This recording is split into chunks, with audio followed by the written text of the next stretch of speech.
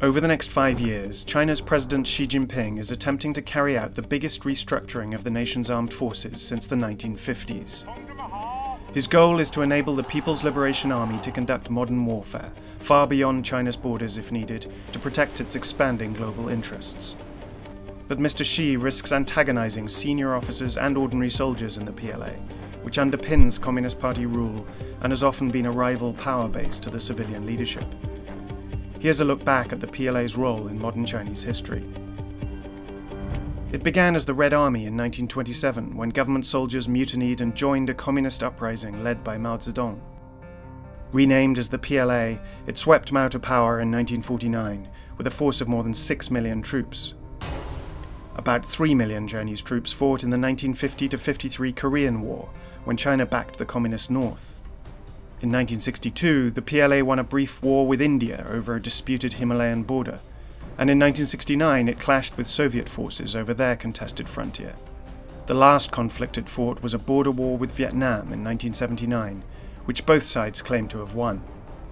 When Deng Xiaoping took power in 1978, the PLA was allowed to build a huge business empire, including investments in real estate, pharmaceuticals, and nightclubs, in exchange for supporting his market oriented reforms.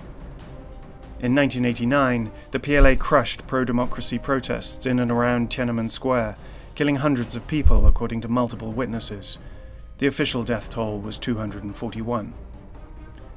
By 1998, President Jiang Zemin was worried about the PLA's combat capabilities. He ordered it to shut down its business ventures in return for large annual increases in defense spending. But China's next president, Hu Jintao, failed to assert his authority over the military corruption became rampant. President Xi took power in 2012, determined to rein in the PLA. He has broadened an anti corruption campaign to include its top brass, arresting or convicting at least 41 generals. He stepped up efforts to enforce territorial claims in Asia and has ordered the PLA to train to fight and win wars. Now he's overhauling the PLA's internal structures. He's created a new Army Command, Rocket Force, and Strategic Support Force, effectively downgrading the status of the Army, which previously held higher standing than the other branches of the military. He's replaced China's seven military regions with five new theatre commands that have more fluid boundaries and will focus more on external threats.